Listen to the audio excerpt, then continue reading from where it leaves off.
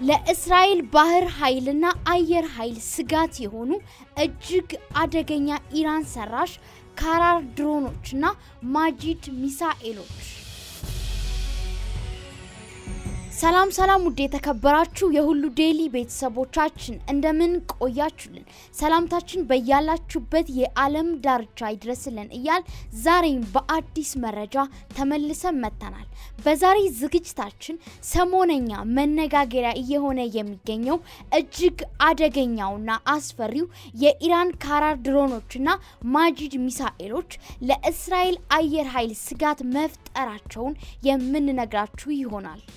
የማጂድ ሚሳኤሎች ከካራር ድሮኖች ጋር መቀላቀላቸው ለእስራኤል ምን ስጋትን እንደሚፈጥር፣ እኚህ አደገኛ ሚሳኤሎችና ድሮኖች ብቃታቸው ምን ያህል እንደሆነ አጠቃላይ እይታቸውን፣ ተግዳሮቶቹን እንዲሁም እነዚህ ሚሳኤሎችና ድሮኖች ሊያስከትሉ የሚችሉትን ተጽዕኖና በአካባቢው ያለውን የጸጥታ ሁኔታ እንዴት እንደሚቀይሩና የዓለም አቀፍ አንድምታን ጨምሮ ስለ ሚሳኤሎቹና ድሮኖቹ አስገራሚና አዳዲስ መረጃዎችን ይዘን መጥተናል።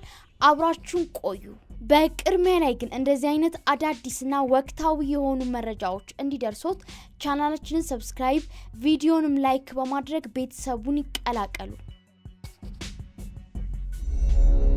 ኢራን በዓለም አቀፉ ማህበረሰብ በተለይም በአሜሪካ ውስብስብ ያለ ማዕቀብ ተጥሎባታል። እነዚህ ማዕቀቦችም የኢራንን ወታደራዊ እድገት የተራቀቁ ቴክኖሎጂዎችን የማግኘት እድልን የሚገድቡና የሀገሪቱን መንግስት ዘመናዊ የጦር መሳሪያ የመግዛትና የማምረት አቅሟን የሚገድቡ ናቸው። ይሁንና ግን ይህ የተጣለባት ማዕቀብ ኢራን እንድትበረታ እንጂ እጅ እንድትሰጥ ከቶም አላረጋትም። በዚህም ሀገሪቱ የጦር መሳሪያ ማዕከሎቿን በማዘመን በምርምርና በልማት ላይ ከፍተኛ ኢንቨስት አድርጋለች። ይህም በመሆኑ እጅግ ዘመናዊ ወታደራዊ ቴክኖሎጂዎችን፣ መሳሪያዎችንና ስርዓቶችን ለመፍጠር መንገድ ከፍቶላታል። ኢራን ዛሬ ላይ ያለማንም እርዳታ በዓለማችን ላይ በሚሳኤል ቴክኖሎጂም ሆነ ባሏት የሚሳኤል ብዛት አቻ ያልተገኘላት በመካከለኛው ምስራቅ ውስጥ ትልቁና ልዩ ልዩ እንዲሁም ቁጥር ስፍር የሌላቸው የሚሳኤል ጦር መሳሪያዎች ባለቤት ስትሆን ከሶስት ሺህ በላይ የሚሆኑ ባላስቲክና የክሩዝ ሚሳኤሎች ባለቤት ናት። ከነዚህ ሚሳኤሎች ውስጥም እስከ እስራኤልና ደቡብ ምስራቅ አውሮፓ ድረስ ኢላማቸውን ሊመቱ ይችላሉ። በዚህም ኢራን በተደጋጋሚ የእነዚህን የጦር መሳሪያዎቿን የኢላማ ትክክለኝነትና ገዳይነትን ለማሻሻል በከፍተኛ ደረጃ ኢንቨስት ስታደርግ ኖራለች። ይህም በመሆኑ የኢራን አስፈሪና አደገኛ መሳሪያዎች በአካባቢዋ ላሉ ለአሜሪካና ለእስራኤል እንዲሁም ለሌሎች አጋር ወታደራዊ ኃይሎች ስጋት ሆነዋል። በተለይም ኢራን በአሁኑ ሰዓት ላይ በእኚህ ቁጥር ስፍር በሌላቸው የሚሳኤል ጦር መሳሪያዎቿ የምንጊዜም ጠላቶቿን ማለትም አሜሪካና እስራኤልን ለመምታትና በምዕራባውያን ሀገራት ጭኮና ውስጥ የሚገኙትን የአረብ ሀገራት ነጻ ለማውጣት ለሂዝቦላ፣ ለሐማስ እንዲሁም በኢራን ለሚገኙት ለሻይቲ ሚኒሻዎች በማስታጠቅ ላይ ትገኛለች።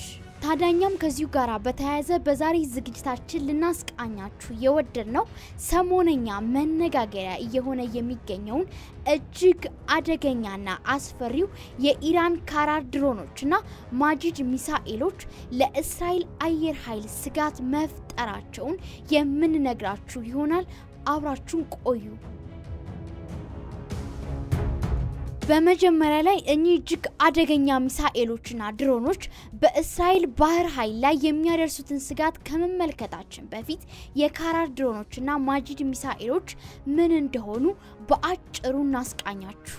በኢራን የተሰራው ካራር ሰው አልባ የአየር ላይ ተሽከርካሪ ወይንም UAV በተለዋዋጭነቱና በአስደናቂ የማጥቃት ብቃቱ በዓለማችን ላይ የተመሰከረለት ነው። እኚህ እጅግ አደገኛና አስፈሪ የካራር ድሮኖች የረዥም ርቀት ሚሳኤሎች ከሆኑት ከማጂድ ሚሳኤሎች ጋር ሲጣመሩ ለክልላዊ ደህንነት አዲስ ፈተናን የሚፈጥሩ ጠንካራ ጥምረት ናቸው። ካራር ሰው አልባ አውሮፕላን ወይንም ድሮን ረዥም ርቀትን ለመሸፈን የተነደፈ በመሆኑ ለተለያዩ ተልእኮዎች ተስማሚና አደገኛ ያደርገዋል። ይህም ድሮኑ ለስለላና አጸያፊ ጥቃቶችን ጨምሮ ለመፈጸም ያስችለዋል። እንዲሁም ይህ እጅግ አደገኛ ድሮን የማጅድ ሚሳኤሎችን መሸከም መቻሉ ከፍተኛ የሆነ የማጥቃት ብቃቱ እንዲጨምር ያደርገዋል። በዚህም ምክንያት እኚህ አደገኛ አጥቂ ሚሳኤሎችና ድሮኖች የኢራን ወታደራዊ ስትራቴጂ አዲስ ገጽታዎች ናቸው። በመቀጠል ማጅድ ሚሳኤሎችን በጥልቀት ስንመለከት እነዚህ አደገኛ ሚሳኤሎች ለትክክለኝነትና ኢላማቸውን ለመምታት በውጤታማነት የተነደፉ እጅግ አደገኛና አስፈሪ የረዥም ርቀት ሚሳኤሎች ናቸው። የማጅድ ሚሳኤሎች ከካራር ድሮኖች ጋር መቀላቀላቸው የኢራንን ኃይልና በአካባቢው ተጽዕኖ የማሳደር አቅምን ያሳድጋል፣ በተለይ ደግሞ በባህር ክልል ውስጥ። ታዲያም እነዚህ አዳዲስ እድገቶች በእስራኤል የባህር ኃይል ላይ ምን ተጽዕኖ ያሳድራሉ የሚለውን በጥልቀት ስንመለከትም የማጅድ ሚሳኤሎችን የታጠቁ የካራር ድሮኖችን ማስተዋወቅ ለእስራኤል የባህር ኃይሎች ብዙ ፈተናዎችንና ችግሮችን ይፈጥራል። እነዚህም ፈተናዎች የመጀመሪያው ሰው አልባ አውሮፕላኖቹ የሚያቀርቡት የተራዘመ ክልልን ነው። ይህ ማለትም የካራር የረዥም ርቀት አቅም ከኢራን ድንበሮች ርቆ እንዲያጠቃ ተደርጎ የተነደፈ በመሆኑ ነው። ይህም ርቀቱ በሜዲትራኒያ ባህር ቦታዎች ላይ ሊደርስ ይችላል። በዚህም የባህር ኃይል መከላከያ ስትራቴጂና ያሉትን የደህንነት እርምጃዎች እንደገና መገምገም ያስፈልገዋል። ሁለተኛው እኚህ ሚሳኤሎችና ድሮኖች ለእስራኤል ስጋት መሆን የሚችሉት የማጅድ ሚሳኤሎች ትክክለኛ የማነጣጠር አቅም ሌላ ውስብስብ ነገርን ይጨምራል። በዚህም ምክንያት የእስራኤል የባህር ላይ ንብረቶች፣ መርከቦችና የባህር ላይ ተከላዎችን ጨምሮ ለከፍተኛ ትክክለኛ ጥቃቶች ተጋላጭ ሊሆኑ ይችላሉ። ሌላኛው ስጋት የሚሆነው ከዚህም በላይ በርካታ የካራር ድሮኖችን የሚያካትቱ የመንጋ ዘዴዎችን መጠቀም ለአደጋው ተለዋዋጭ ንጥረ ነገርን ይጨምራል። ይህም በድሮኖች መንጋ የተቀናጀ ጥቃት ባህላዊ የመከላከያ ስርዓቶችን ሊያሸንፍ ይችላል። ይህም ስልቶችንና ሁኔታዎችን ማስተናገድ የሚችሉ ቴክኖሎጂዎችን ማዘጋጀት ያስፈልጋል። ይህም ምናልባት በካራር ድሮኖችና ማጅድ ሚሳኤሎች የሚፈጠሩ ሁለገብ ፈተናዎችን ለመፍታት የተሻሻሉ ቴክኖሎጂዎችን፣ የተሻሻሉ የመረጃ ማሰባሰብንና ከተባባሪ ኃይሎች ጋር መተባበርን ሊያካትት ይችላል።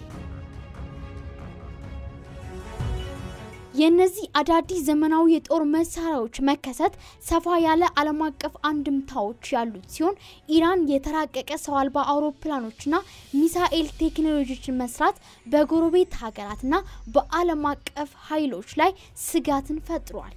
በመሆኑም ታዲያ እኚህ እጅግ አደገኛ አስፈሪ ሚሳኤሎችና ድሮኖች ለሂዝቦላና ለሐማስ ጨዋታ ቀያሪ ሲሆኑ አየር ኃይላቸውን ከእስራኤል ዘመናዊ የውጊያና የስለላ ድሮኖች ለመከላከል ትልቅ አስተዋጽኦ ይኖራቸዋል።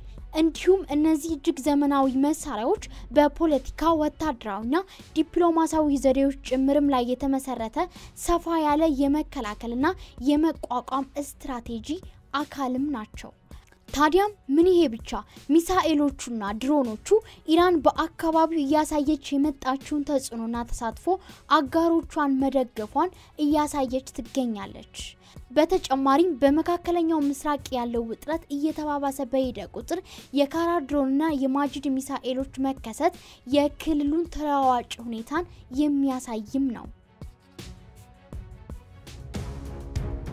ውድ የሁሉ ዴይሊ ተመልካቾቻችን የዛሬ ፕሮግራማችን ይህን ይመስል ነበር። ባደረስናችሁ መረጃ እንደተደስታችሁበትና ጠቃሚ ነገር እንዳገኛችሁበት እናምናለን። የዛሬውን በዚሁ አበቃን። በቀጣይ ለእናንተ የሚያስገርም የሚያዝናናና የሚያስተምር እንዲሁም ደግሞ ለእናንተ ይጠቅማል ብለን ያሰብናቸውን መረጃዎች ይዘንላችሁ እንቀርባለን። ቪዲዮውን like፣ ቻናሉን subscribe በማድረግ የደውል ምልክቱ መጫኑን እንዳይረሱ። በቀጣይ ቪዲዮ እስከምንገናኝ ሰላም በያላችሁበት